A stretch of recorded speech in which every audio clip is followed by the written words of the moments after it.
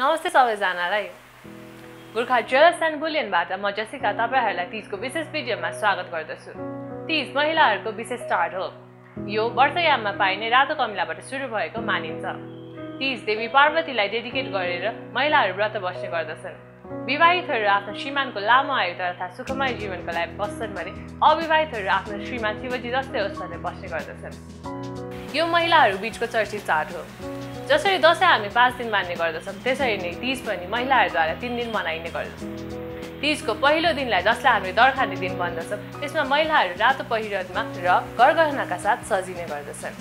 गरगहना जस्तै कण्ठ काडेचुरा कटरगेरी काँक्रे बिहारी यार्लिङ पुतली रिङ चन्द्रमा नौगेरी जन्तर तिलरी हेयर क्लिप आदि लाउने गर्दछन्। त्यसका साथसाथै उहाँहरू एकै ठाउँमा भेला भएर रमाइलो गर्ने गर्दछन्। दोस्रो दिन अथवा व्रत बस्ने दिन उहाँहरू छेउको शिव मन्दिर जाने गर्दछन्।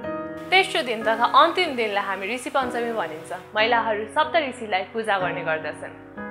ग्राहकहरूलाई तिजको विशेष अवसरमा गोर्खा ज्वेलर्स एन्ड बुलियनबाट फिफ्टी पर्सेन्ट डिस्काउन्ट मेकिङ चार्जमा दिइरहेको छ fur further information please contact 42488861 or Facebook पेजमा www.facebook.com slash Gorkha jewellers UK visit गर्नुहोला यस्तै इन्फर्मेटिभ भिडियोहरू हेर्न चाहनुहुन्छ भने लाइक सब्सक्राइब र कमेन्ट गरेर सेयर गरिदिनुहोला।